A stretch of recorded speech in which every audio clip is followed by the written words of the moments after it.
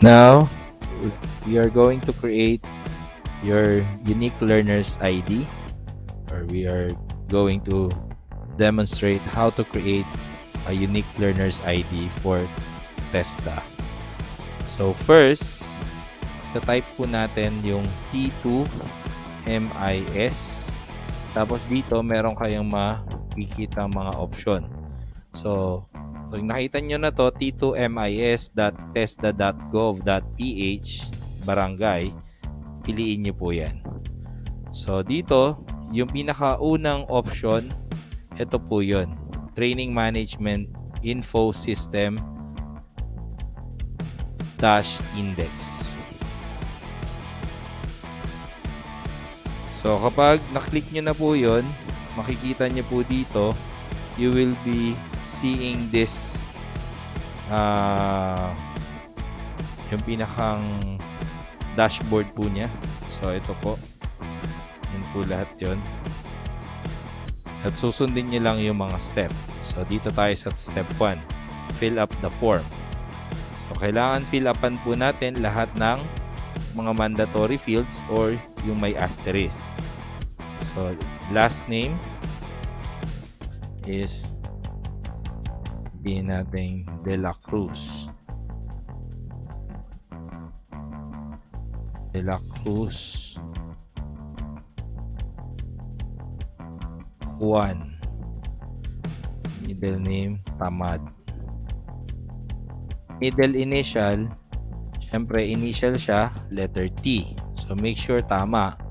Kung meron po siyang, kung meron kayong extension, pwede nyo ilagay dyan, junior or senior. Kung wala naman, pwede nyo skip yan. So, dito tayo sa gender. So, male or female. So, let's save male. Tapos, ang birthday ni Juan Tamad ay January 1, 1990. 1990. Siya ay isang Filipino. Pinanganak siya sa Maynila. Hindi na natin pinanganak siya sa City of Manila. Pinanganak siya sa Intramuros. So, sunod po niyan, contact information. So, ang nilalagay po usually dito sa contact information sa paggawa ng T2MIS ay kung nasaan po kayo currently na nakatira.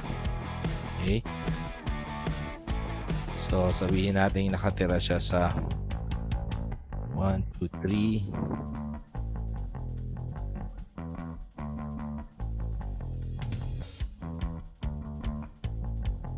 N NE 13th Street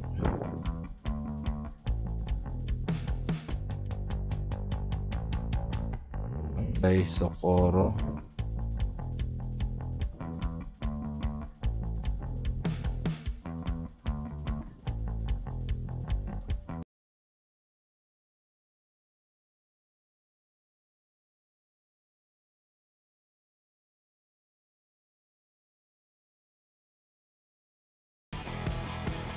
Ang email niya ay Halimbawa, gumawa na siya ng email nlc dot last name de la Cruz.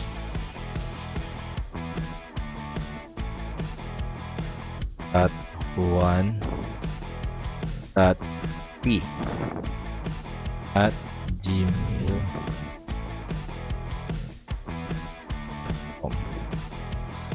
mobile number 09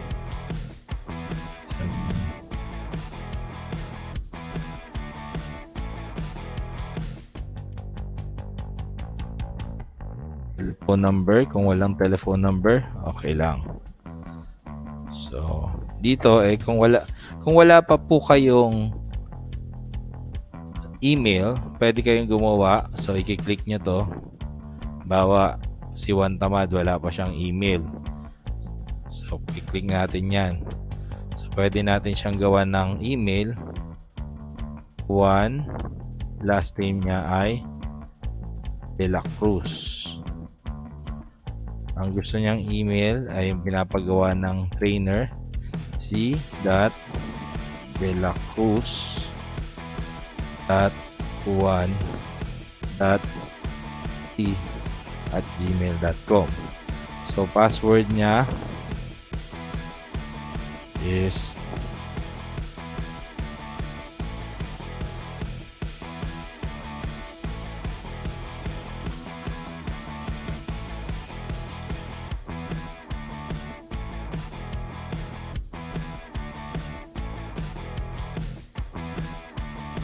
So, lagyan natin yung email niya. Ay phone number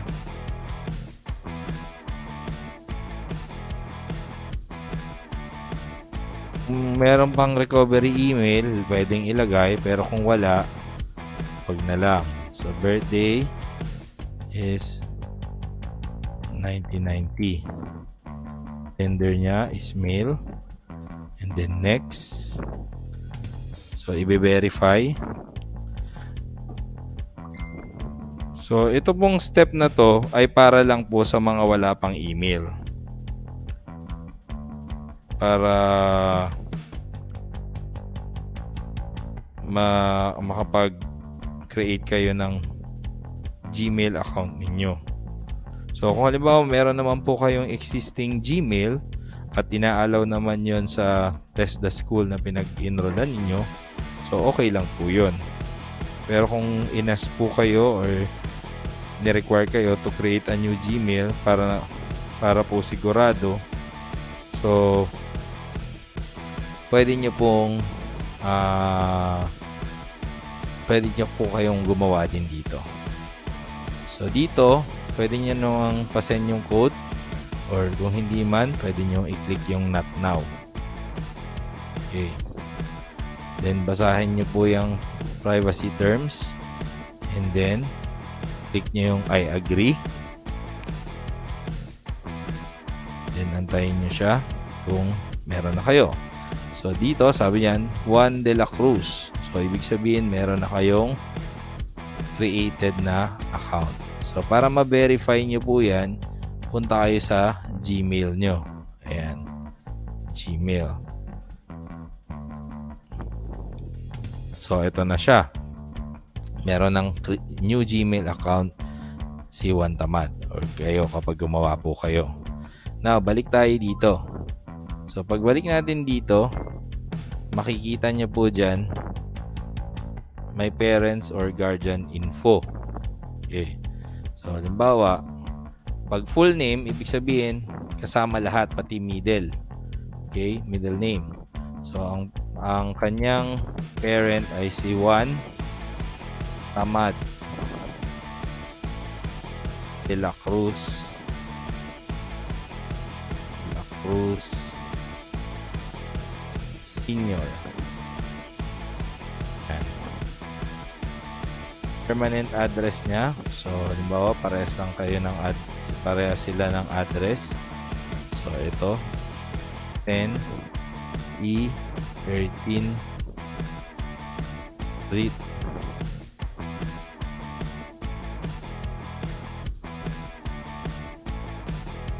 by Socorro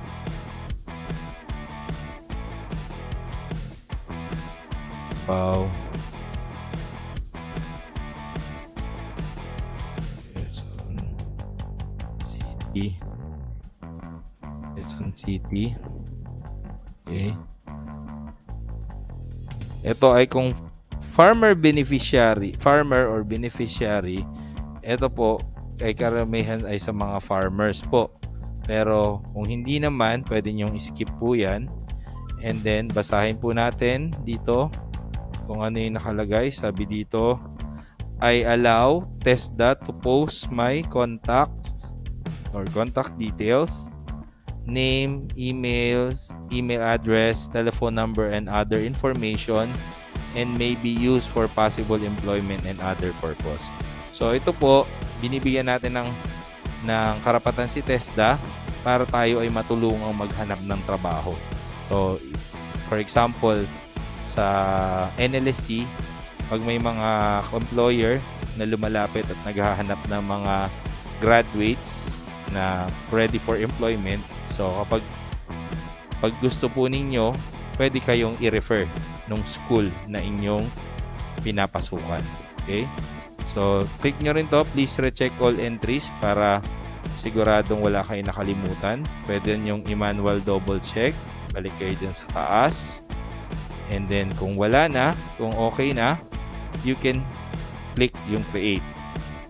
So, tapos na tayo sa creation. So, dito na tayo sa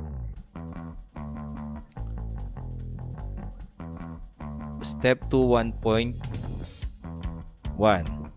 So, nakalagay dito, fill up daw yung mandatory field. Sabi dito, si Juan de la Cruz ay nag exist Paano yan? Kung, sir, kung halimbawa, nag-exist na pala si Juan de la Cruz, pero hindi ako yan. Okay, so tingnan natin. Sabi dito, i-recover daw natin yung ID. So, kapag kayo, alam nyo sa sarili ninyo na nakapag-create na kayo dati pa, Ibig sabihin, ito yung option nyo. Forgot your learner's ID. So, try natin ilagay dito. Si Juan, and then last name niya is De La Cruz. Dahil maraming ang Juan De La Cruz. So, ang birthday niya ay January 1, 1990. So, search natin kung nandyan nga ba si Juan De La Cruz. So, makikita nyo dito ang sabi ang sabi, student details, no record found. Please verify your information is correct and try again. If you don't have learner's ID, i-click natin to. Oh, yan. So, pag kinlik nyo yan, babalik ulit kayo dun sa details ng kaninang pinag-usapan natin sa step 1 na naman. Okay. So, kung halimbawa, nangyari yon, di ulitin po natin. Para sigurado lang tayo. De La Cruz 1 middle name Tamad middle initial T. Dahil wala, wala naman siyang extension so skip natin yan. Gender. So male. Birthday. 0101 1990 nationality Filipino. Birthplace niya ay Metro Manila dahil siya ay so National Capital Region, City of Manila, and then pinanganak siya sa Intramuros. So doon po yung kapanganakan niya. Pero dito sa contact information again, yung present address. So ngayon nakatira siya dito sa NE 13th Street Barangay Socorro.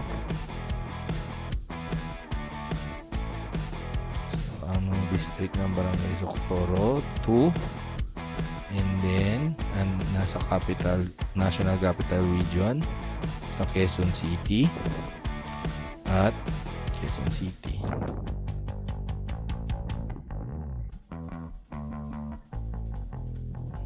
Okay. So, email address niya ulit, nlsc.delacruz.com 1.t at gmail.com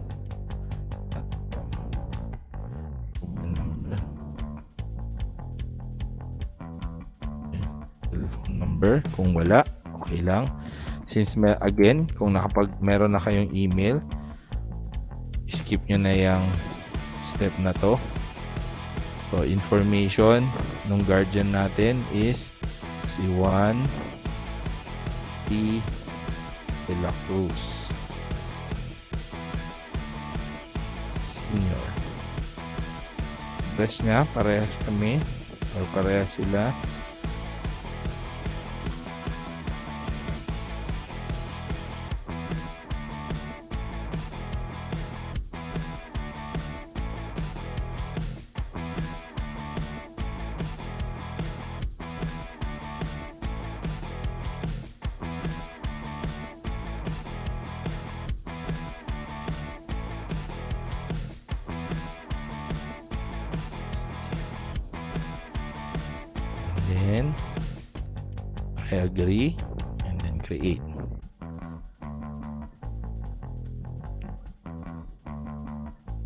So dito, this time, nakuha na niya yung ating registration.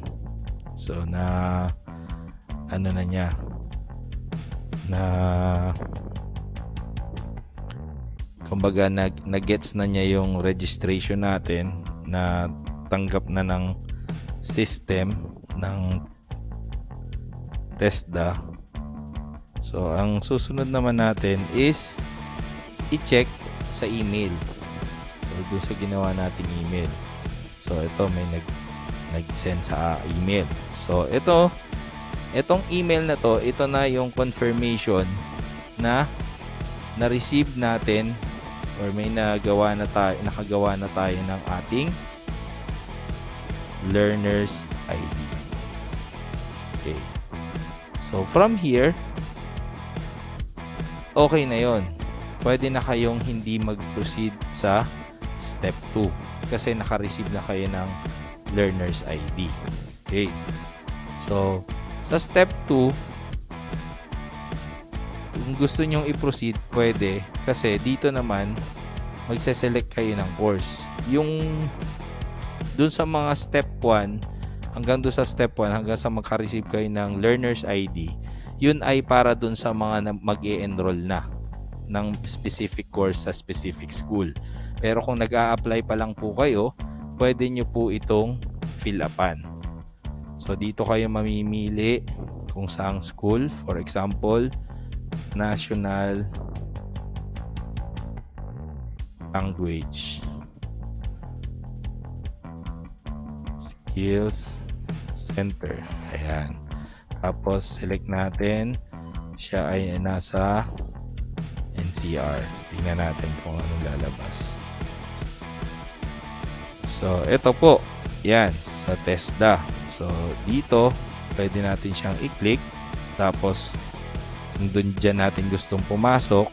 And then, pwede na yung mamili kung anong course. So, nandyan yung information ng National Language Skills Center email address, sinong focal person, anong distrito ang nakakasakop. So, Montiparlas Tapat District na nasa Tagig. And then, kung halimbawa gusto nyo mag-aral ng language, andito po yan. Mamimili kayo kung anong uh, program ang gusto nyong i-enroll. So, halimbawa, gusto kong mag-aral ng Spanish language for different vocations. So, pipiliin ko yan.